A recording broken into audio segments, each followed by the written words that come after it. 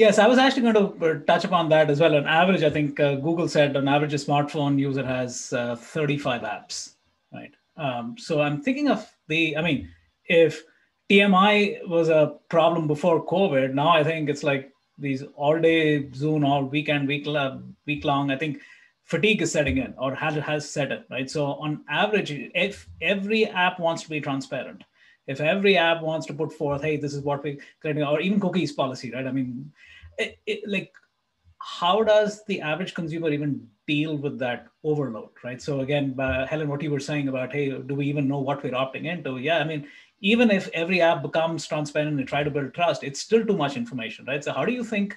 I mean, what's the recourse over here? I actually think that there's an opportunity for crowdsourcing in this space. Uh, if we take it that we've all got at least 35 apps or an average of it on our phones, it's not likely that we've looked at the T's and C's, but is there an opportunity for a group of people to look at a group of apps on our behalf and to be able to say, you know, this thing, this one piece is a little bit creepy. This other piece is sort of seems like it's standard. And you know we've we've talked about having um,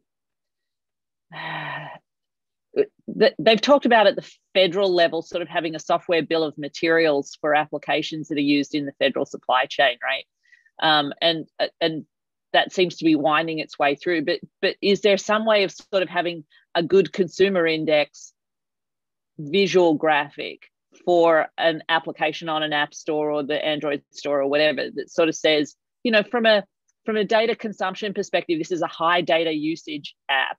That's the model that, that this is what they're in. This has a low data consumption, or or this has really great security practices. This one less so. Something like that. I think I think we're going to need to come up with some industry standards that that people can trust uh, going back to that. That's how i think we'll get to it. Not that every individual sits and reads every tnc no one's got time for that. Yeah it's like the consumer reports for apps. Uh, uh, heather your thoughts? Yeah i like i like that idea of having like a graphic of you know so making it much easier for people to understand that your data is coming in and, and here's exactly what it is that we do with it.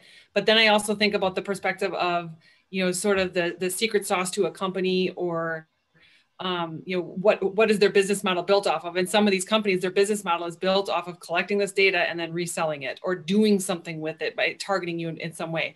So if you're putting out there to the end user this is how we're using your data. Are you also putting out to your competitors how your business operates? Um, so i don't have an answer but you know it's just it's it's things to think about that there's you know there's there's there's this side and then there's this side. Um, no answer, but just you know you, you've got to take take both sides into considerations there. So so Brian, uh, so I'm going to put you on the spot over here, saying you mentioned this this kind of creepiness towards surveillance, and uh, now I'm going to put the software development method methodology like DevOps, right? So it's not like I mean, cars come out at a certain frequency. I can I can do an assessment. I can give a report out, but the report I put for software is redundant the moment it comes out. So like, who do you trust, and how do you even keep up?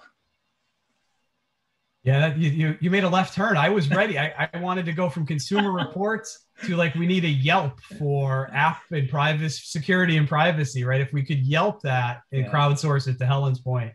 But I think that's the challenge. We within higher ed, we have this horrible acronym called the HECVAT, the Higher Education Community Vendor Assessment Toolkit that tries to measure sort of the risk. And we're, we're struggling with how we inject privacy into that risk assessment.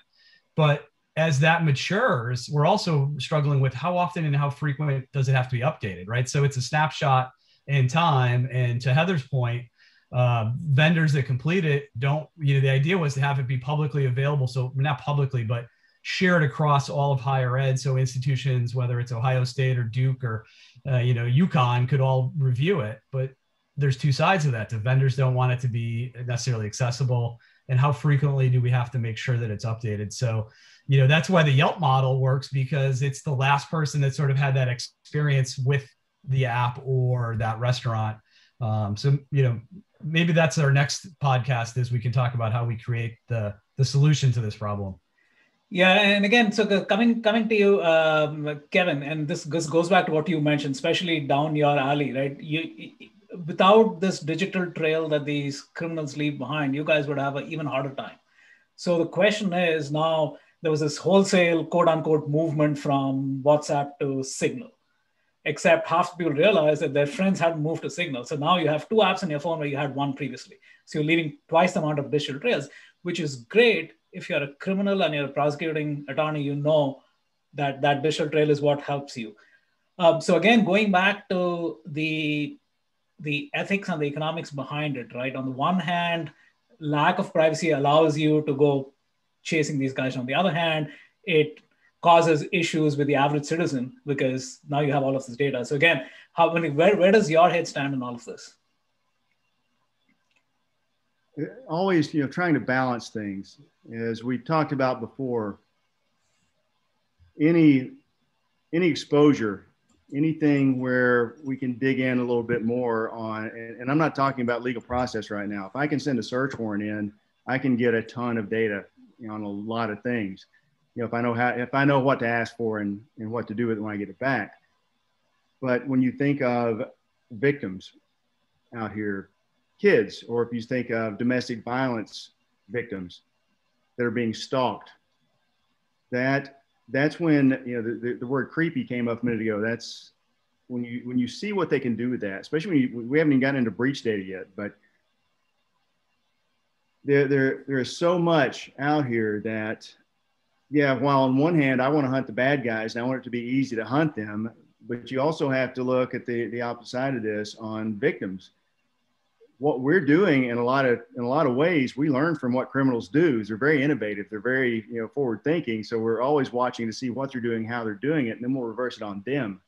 But we also want to take that knowledge and I, I don't want my family being vulnerable i don't want my friends being vulnerable so we need to actively teach this as well that's why i'm a big privacy supporter a big privacy advocate because i can't tell you how many victims i have sat with that have been stalked that have been victimized elderly uh, it, it, never ends. So yeah, we, we definitely need a, a, balancing act. So whatever it takes to keep people safe, I'm for. We'll always find a way to hunt the bad guys because that's just what we do.